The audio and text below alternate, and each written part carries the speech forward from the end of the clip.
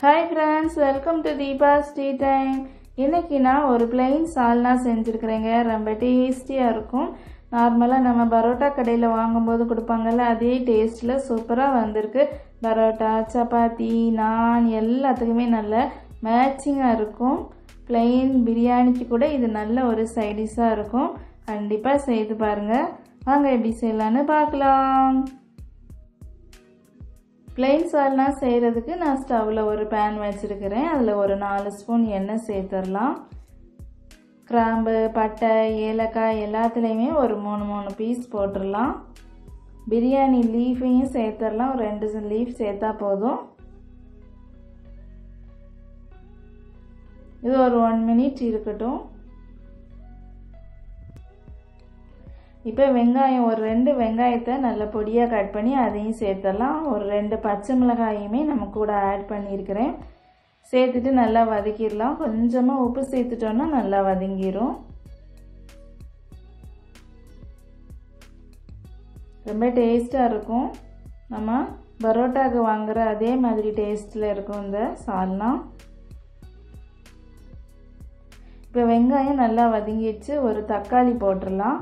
Medium size தக்காளியில் ஒரு தக்காளி சேர்த்தா போதும். சேர்த்துட்டு நல்லா வதக்கி எடுத்துடலாம். இந்த தக்காளி வெங்காயம் ரொம்ப சாஃப்டாக ஆகணும். அதுக்காக நம்ம மூடி வச்சிடலாம்.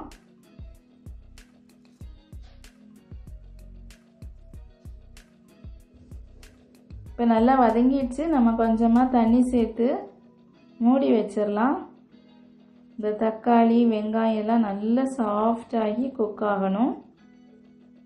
அதுக்கு இடையில் நம்ம மசாலா ரெடி பண்ணிடலாம். ஒரு மிக்சி ஜாரில் கால் முறி தேங்காய் கொஞ்சமாக இஞ்சி ஒரு அஞ்சு பல் பூண்டு எல்லாத்தையும் சேர்த்துடலாம்.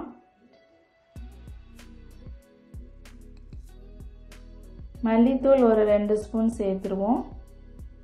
காரத்துக்காக மிளகாய்த்தூள் உங்கள் தேவைக்கு சேர்த்துக்கோங்க. நான் ஒரு ஒன்றரை ஸ்பூன் சேர்த்துருக்குறேன். காரம் அதிகமாக வேணும்னா ஒரு ரெண்டு ஸ்பூன் கூட நம்ம சேர்த்துக்கலாம். மஞ்சள் தூள் ஒரு கால் ஸ்பூன்.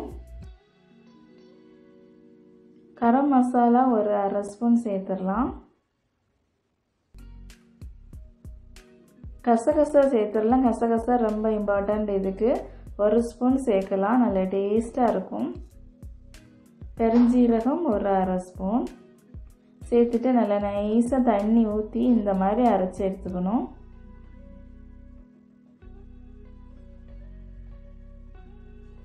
இப்போ நம்ம ஆல்ரெடி மூடி வச்சுருந்தது நல்லா தண்ணியெல்லாம் வற்றி நல்லா சாஃப்ட் ஆகிடுச்சு பாருங்கள் இப்போ நம்ம கொஞ்சமாக தண்ணி சேர்த்துட்டு நல்லா கொதிக்க விட்டுறலாம்.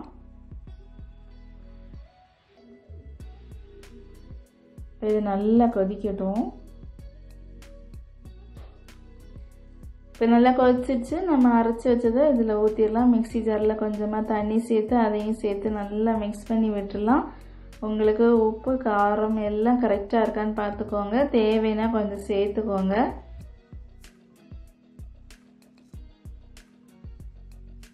இது நம்ம பிரியாணிக்கெல்லாம் போடுவோம்ல ரொம்ப ஆயில் அதுதாங்க இது. அது இது ரொம்ப இம்பார்ட்டன்ஸ் அதுதான் இந்த வாசனை கொடுக்கறது. எவ்வளோ நம்ம சேர்த்தாலுமே நல்ல டேஸ்ட்டாக தான் இருக்கும். கொதிக்கிறப்பவே சேர்த்துடணும் அப்போ தான் அதோடய வாசனை நல்லா இறங்கி வரும். தேவைன்னா கொஞ்சமாக உப்பு சேர்த்துக்கோங்க. சேர்த்துட்டு நல்லா மிக்ஸ் பண்ணி விட்டுருங்க. அவ்வளோதாங்க ரெடி ஆயிடுச்சு. இது நல்லா கொதிக்கட்டும். ஸ்டவ்வை சிம்மில் வச்சுட்டு ஒரு ஃபைவ் மினிட்ஸ் நல்லா கொதிக்கட்டும். நம்மளோட பிளெயின் சால்னால் ரெடி ஆயிடுச்சு. நம்ம கொஞ்சமாக கொத்தமல்லி கீரையும் புதினாவும் போட்டுடலாம்.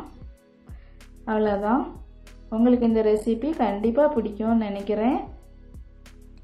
சப்பாத்தி பூரி பரோட்டா அதுக்கு எல்லாத்துக்குமே நல்ல மேட்சிங்காக இருக்குங்க.